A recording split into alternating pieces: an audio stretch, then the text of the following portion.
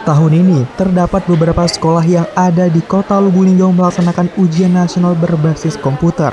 Setelah pada tahun lalu, sebagian besar melaksanakan UN dengan cara biasa ataupun manual. Patut diketahui bagaimana reaksi siswa ketika menjajal ujian berbasis komputer ini dan merupakan hal dan pengalaman baru bagi siswa yang berada di kelas 12 sekarang.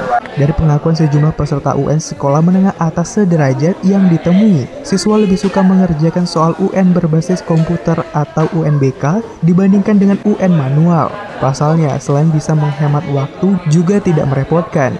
Dalam UNBK ini, yang terpenting siswa hanya dituntut untuk mempersiapkan diri dan menjaga kesehatan. Siswa lebih menyukai UN online karena mereka bisa lebih cepat menyelesaikan ujian. Salah satunya dirasakan oleh siswa Semanda bernama Wiwin. Cuma masukin noken itu. Noken.